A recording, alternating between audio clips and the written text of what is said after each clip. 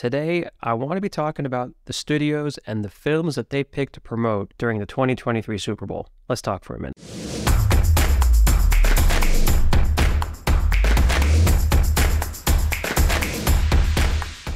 Now, the first studio that we're going to be talking about is Universal because they've had the highest number of films, four films, that they promoted during the big game. And with that first film, we're going to be talking about Fast 10, Fast X, the naming of these movies. With this film, let's first go over the director. Justin Lin had come back for F9, the Fast Saga, again, the naming of these movies, and they started filming.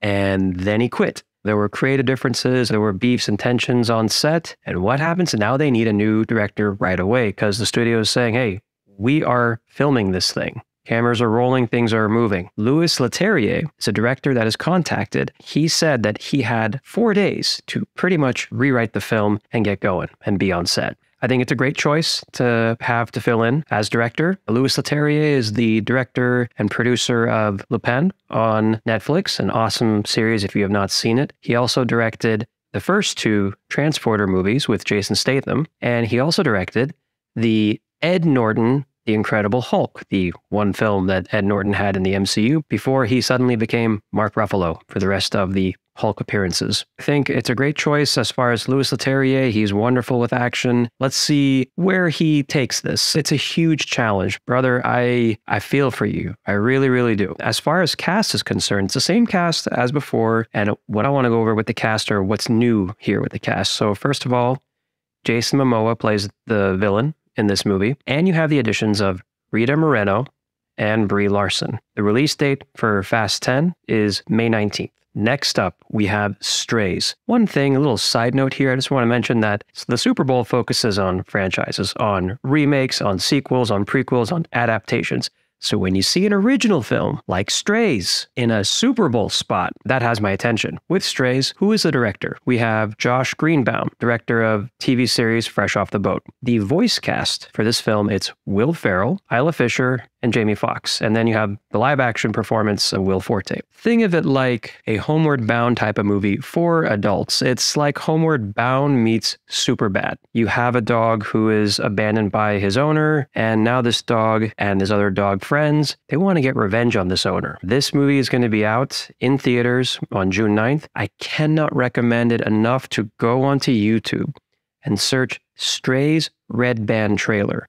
It's awesome. Go check it out. Next up for Universal, Super Mario Brothers.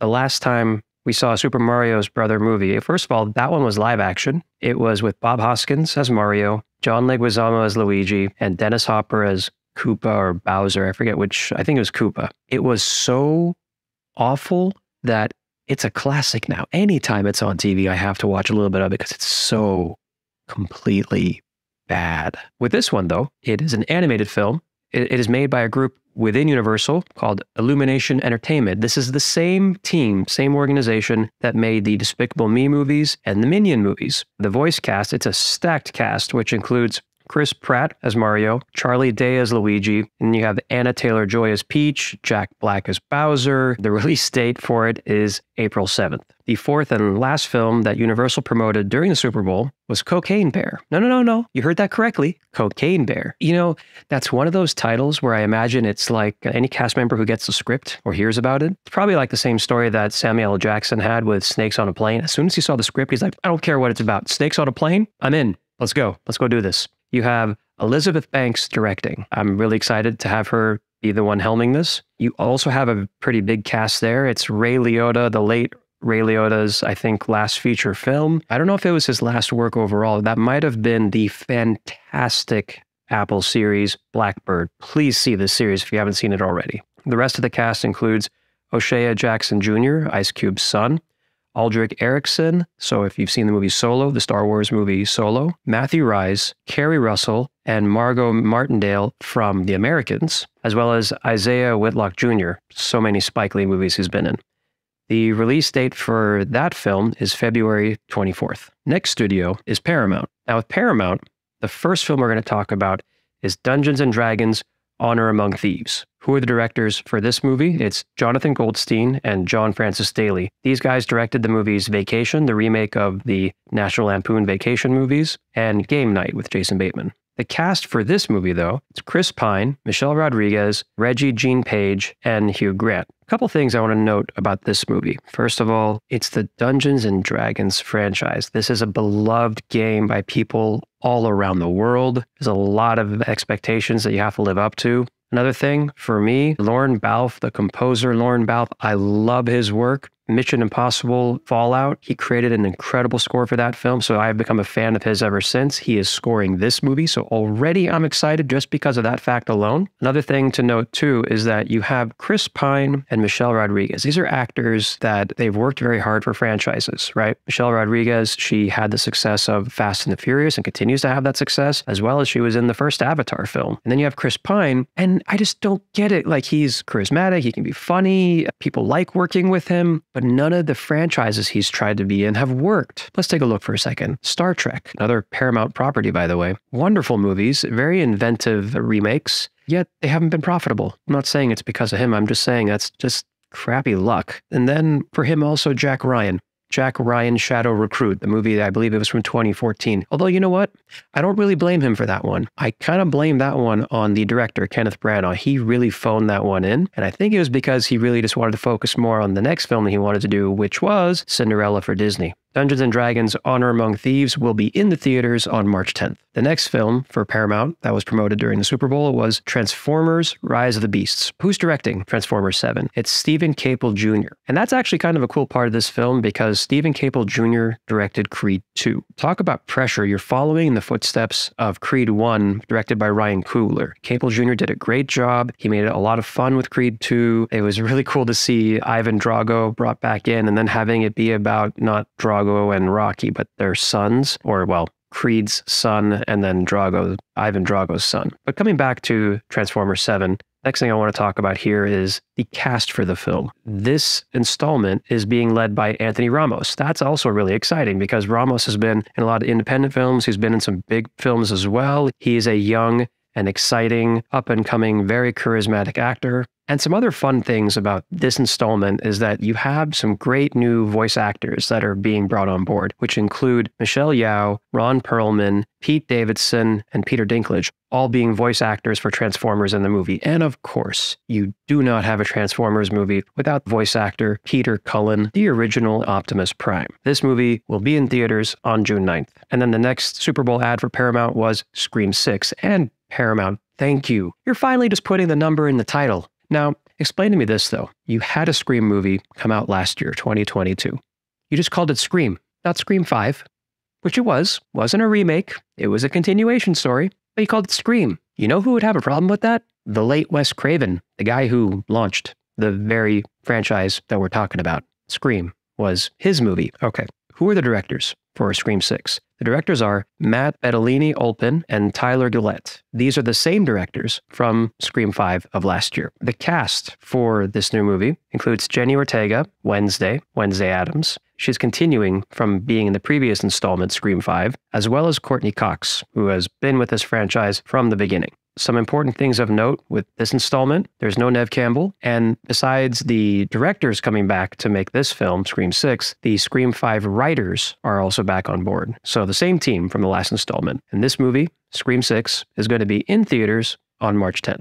The next studio up is Disney. And the first film we're going to talk about that they promoted during the Super Bowl Indiana Jones and the Dial of Destiny. The director for this film is James Mangold the guy who made Ford vs. Ferrari and Logan. We're going to come back to talking about him in a minute. The cast for this film of course, Harrison Ford is back playing Indy. You have Phoebe Waller Bridge from Fleabag, as well as Mads Mikkelsen, who played the villain in Casino Royale. One important thing with this installment this is the first Indiana Jones movie that Steven Spielberg himself is not directing, but he picked an amazing guy to be the director for this film. Indiana Jones and the Dial of Destiny will be in theaters on June 30th. Next film, Guardians of the Galaxy 3.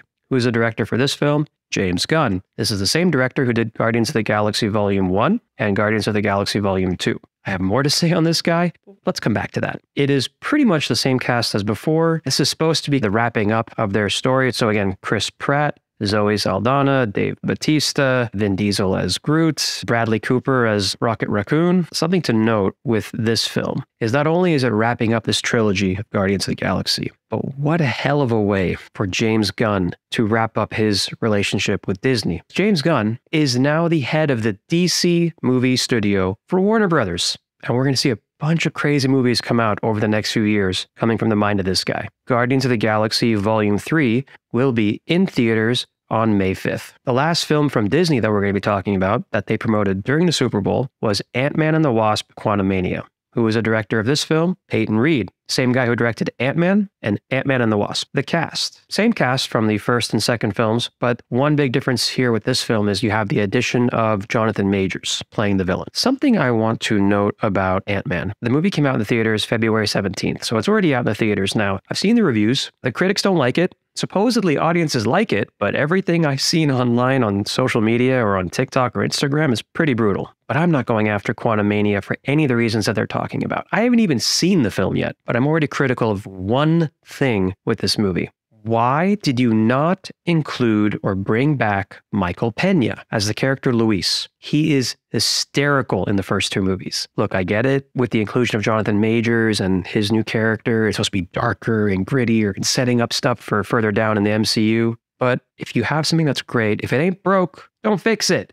Why would you leave this element out of this movie? The next studio that we're going to be talking about is MGM. The first film from MGM that was promoted during the Super Bowl was the movie called Air. Now, who is the director of Air? Ben Affleck. And then who are the casts that are in Air? Longtime business partner and friend of Ben Affleck, Matt Damon. This is the first time that Affleck is actually directing Damon. Matt Damon's in the movie. Ben Affleck's in the movie, Viola Davis, Marlon Wayans, Jason Bateman, Chris Messina, Chris Tucker, Tom Papa. That's an awesome cast. I am so on board already, but there's more. With this movie, I'm also excited because it's a 2021 Blacklist script. Now, for those of you not familiar with the Blacklist, it's a script that is part of a group of the best unproduced screenplays in the industry. And that list is updated and published every year. This is one of those scripts. And another thing, too, I get that Alex Convery was the guy who wrote the film. There was also a rewrite that was done by Damon and Affleck together. It is the third time that Damon and Affleck are collaborating with writing on a project together. The first time was Good Will Hunting. The second time was The Last Duel. Both movies are fantastic. Please see them if you have not already. Air is going to be released in theaters on April 5th before it's streaming on Prime Video.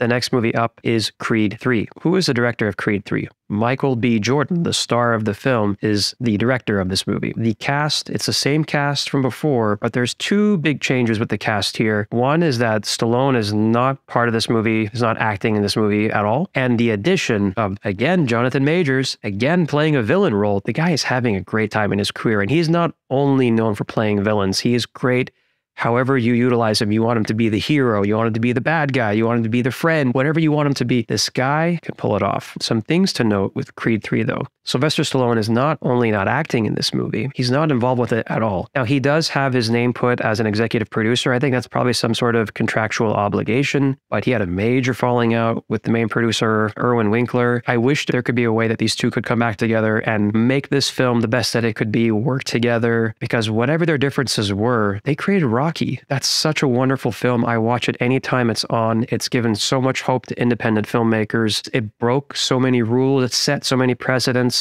It's just sad. I wish that this falling out didn't happen the way it did. The other thing, too, is Michael B. Jordan, he's a first time director. So the thing I'm telling myself, I always tell myself with a first time director is I really hope they succeed. I hope they knock it out of the park. He's also spoken about how when he's directing the action scenes, that his direction is influenced from his love of anime. I want to see what do you mean by that? How does that translate onto the big screen? Let's see how he does that. That movie is going to be in theaters on March 3rd before it, it eventually will be streaming on Prime Video video as well. The next studio we're going to be talking about, Warner Brothers Discovery, and the one and only film that they promoted is The Flash. We have some stuff to unpack with this film. So, who's the director of The Flash? Andy Muschietti. Muschietti also directed the remakes of It and It Chapter 2. Now, let's talk about the cast for a second. You can't talk about the cast without mentioning the name Ezra Miller. And I'm going to come back to that name for now because there's a lot there. Michael Keaton back as Batman. Okay. The first film I remember ever seeing was the 1989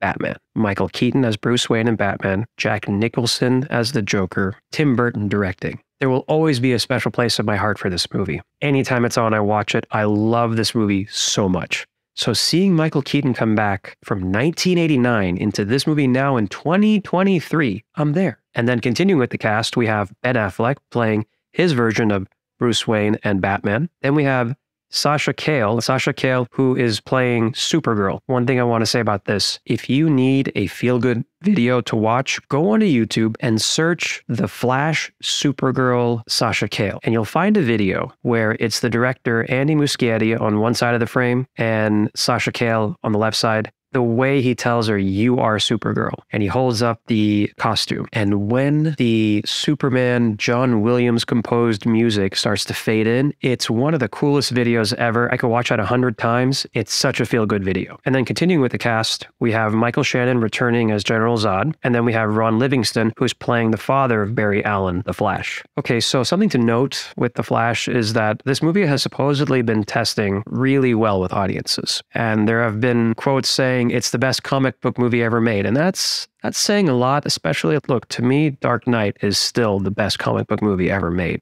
But here's the sad part. Ezra Miller has been the cast member from hell. He is facing some very serious charges, multiple charges for multiple instances, multiple incidents. And he's facing again these very serious charges in court. So let's see what happens. The movie, for now, is scheduled to be released on June 16th. The last studio that we're going to be talking about that promoted a film during the Super Bowl is Sony. The one film that they promoted was 65. Who directed 65? You have a directing team, Scott Beck and Bryan Woods. These are the two who wrote the first A Quiet Place movie. That right there, I'm already very excited. And with your cast, you have Adam Driver from The Last Jedi and newcomer Ariana Greenblatt. The story is you have a futuristic setting, crash landing on Earth, and what you realize is that even though it's a futuristic setting for them, where all this starts, when they crash land on Earth, it's 65 million years ago, dinosaurs. Now, before you say cheesy, roll your eyes, any of that, because I was doing that at first myself, there's an important thing to note with this film, and that is that it is produced by horror king legend and director of Doctor Strange 2, Sam Raimi. So, what you're telling me is you're doing a futuristic sci fi story with horror elements and dinosaurs, and Sam Raimi is very heavily involved in it. Take my money, take it. I'm good. I'm ready. You don't, that, yeah, that's all you need to say. I am down, completely ready for this movie. That one is going to be in theaters on March 10th. To recap, these are the films that these studios are promoting and pushing for now in the summer. And look, I have a great time poking fun at sequels, prequels, and adaptations and all that, and the lack of originals. But honestly, I do love franchises. If they can make it entertaining, they bring new talent in, or, even keep the same talent, but come up with new ideas and keep us intrigued and excited, what's not to love? I can't wait to see all of these movies. I hope you check them out. We're going to talk about them together definitely later this year. Go out and enjoy them. Thank you for listening.